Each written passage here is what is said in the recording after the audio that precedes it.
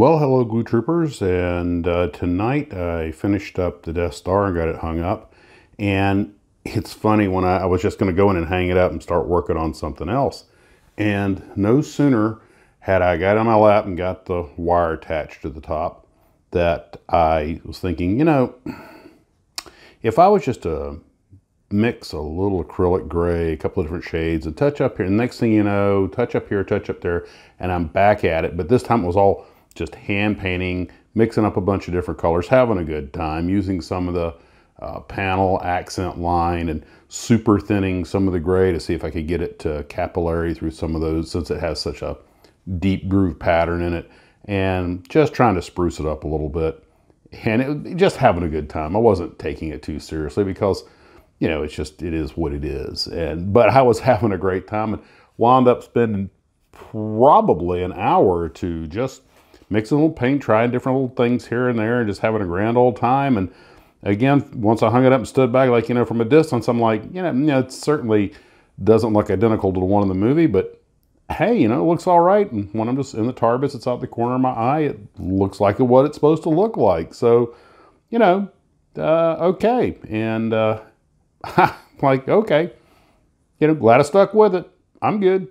And up she goes.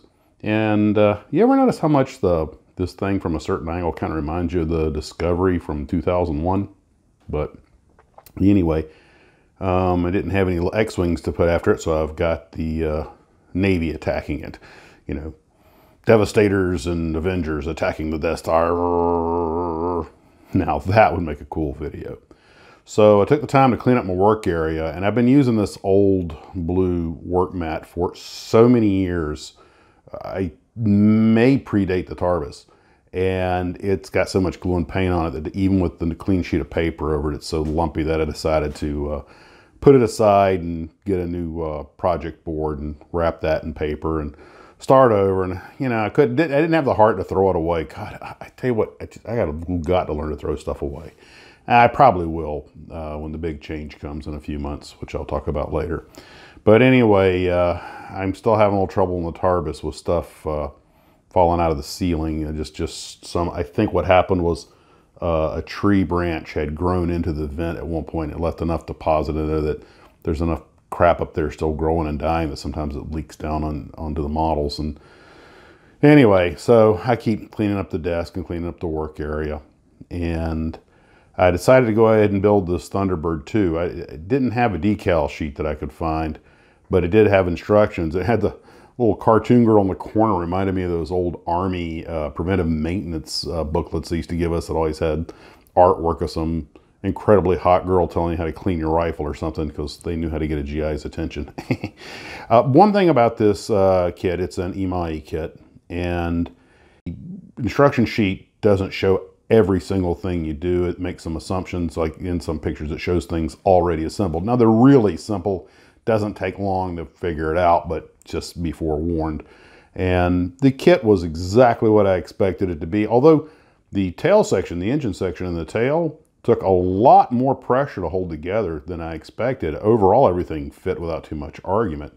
But uh, that uh, one area in the tail just took a lot of clamps to, to keep the, the seal until the glue hardened. And of course, it's got the removable center section, and those are retractable landing gears. So Got that all done.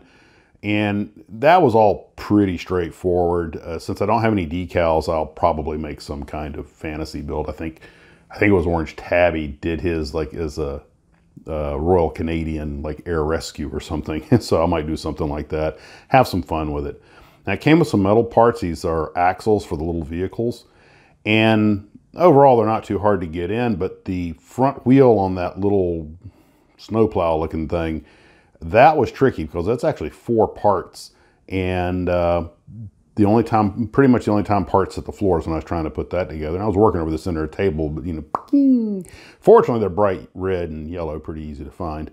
But uh, you have to put the two outer halves over the metal axle, which goes to the tire, and then glue it into place. And I wound up having to use a little bit of tack uh, on a uh, stick to uh, get the axle in place because it's just so tiny. And uh, anyway, so uh, put the rest of the vehicles together. This this hydraulic press lifter thing has these hoses and cables that you have to kind of pre-bend, but it all went together and I got it all up on the shelf now. I mean, I still have to paint it and everything, but uh, basically the, the build is done. I might do a little touch up on it, but this is a fun build. It made a great day build, so it's up on the shelf now. And yes, I consider doing a stop motion with them, but only so many hours in the day. So, uh, and I made sure this time to clean up after myself. So when I was done, this is my desk when I was done. So, you know, uh, be ready to hopefully do something tomorrow. And I mentioned big changes coming. So uh, I'm not going to give any details right now because everything's still in flux. But between recurrent training, uh, getting my medical renewed, uh, probably Airbus training next year, and some other major changes that may be happening here, there's probably going to be a slowdown in uh, the videos and everything, maybe the live streams for a while later in the year. I, I everything's still in flux, so I don't want to go talking about what's going on yet because that could all change.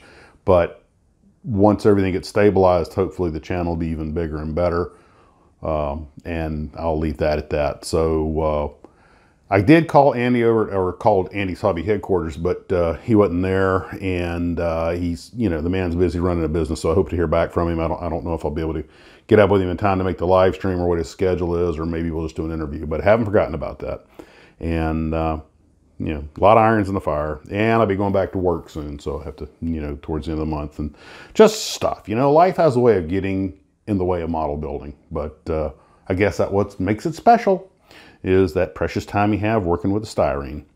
Well, guys, that's what I've got for tonight. Uh, this Thunderbird 2 kit was a fun build. It was a day build. I'll paint it later, and uh, no real arguments with it. And uh, I want to thank the glue trooper that sent that to me. I'll uh, I'll have it dolled up in time for the sci-fi build. Well, guys, take care of yourselves. Hope you're having a wonderful evening. And as always, model on.